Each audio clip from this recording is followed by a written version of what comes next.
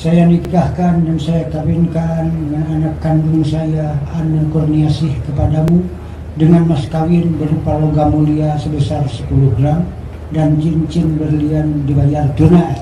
Saya terima nikahnya dan kawinnya Ana Kurniasi binti Burhan dengan mas kawin tersebut dibayar tunai. Bagaimana saksi? Sah?